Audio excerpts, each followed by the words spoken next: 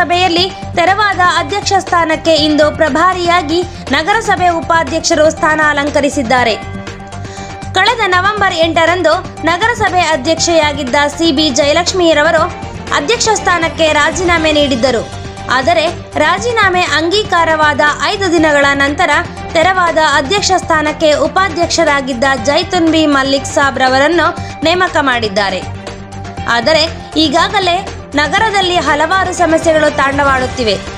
ಈಗಿರುವಾಗಿ ಅತಿ ತುರ್ತಾಗಿ ನೂತನ ಅಧ್ಯಕ್ಷರನ್ನು ಅಥವಾ ಪ್ರಭಾರಿ ಅಧ್ಯಕ್ಷರನ್ನಾಗಿ ತೆರವಾದ ಸ್ಥಾನಕ್ಕೆ ಸಂಬಂಧಿಸಿದ ಅಧಿಕಾರಿಗಳು ನೇಮಕ ಮಾಡಬೇಕಿತ್ತು. ಆದರೆ ಐದು ದಿನಗಳ ನಂತರ ತೆರವಾದ ಸ್ಥಾನಕ್ಕೆ ಉಪಾಧ್ಯಕ್ಷರನ್ನು ನೇಮಕ ಮಾಡಿರುವುದು ಅನುಮಾನಕ್ಕೆ ಆಸ್ಪದ ನೀಡಿದೆ ಎಂದು ನಗರಸಭೆಯ ಪಟಾಸಾಲೆಯಲ್ಲಿ ಗುಸುಗುಸು ಸುದ್ದಿ ಹಬ್ಬಿದೆ. ಆದರೆ ಆಡಳಿತ ಪಕ್ಷದಲ್ಲಿ ಇರುವ ಸದಸ್ಯರುಗಳ ಧರ್ಮ ಸಂಕಟ ಹೇಳತೀರದು. ಈ ಐದು ದಿನದ ಕಾಲಾವಕಾಶ ಯಾವ ಕೆಲಸಕ್ಕೆ ಉಪಯೋಗವಾಗಿದೆ ಎಂಬುದು ಬಿಸಿ ಬಿಸಿ ಚರ್ಚೆ ನಡೆಯುತ್ತಿದೆ.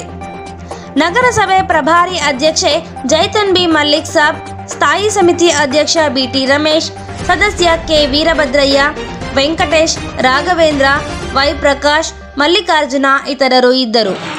ಈಗ ಐದು ದಿನ ತಡವಾಗಿ ಪ್ರಭಾರ ಅಧ್ಯಕ್ಷ ಸ್ಥಾನ ಈಗ ಬಂದಿದ್ರೆ ಇವತ್ತು? ಐದು ದಿನ ತಡವಾಗಿ ಕಾರಣ ಏನಿದೆ? ನೀತಿ ಸಂಸ್ಥೆ ನೀತಿ ಇದ್ದ ಇರೋದ್ರಿಂದ?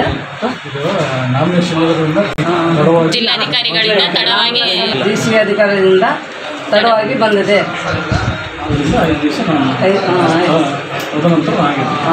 ನಿಮ್ಗೆ ಇವತ್ತು ಬಂದಿದೆಯಾ? ಹಾಂ ಇವತ್ತು ಬಂದಿದೆ ಇವತ್ತು.